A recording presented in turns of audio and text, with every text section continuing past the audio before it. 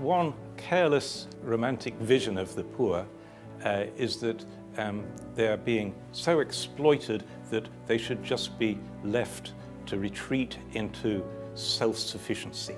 You know, the, the organic, holistic peasant, uncontaminated by the dirty business of a market economy. Um, and of course, that, that is just romantic nonsense. People who retreat into subsistence disconnected from the market are poor. The only ones who are not start off as investment bankers and then go and live out this romantic fantasy. And that's fine for them. It's no good for today's poor. Today's poor need all the connections they can get.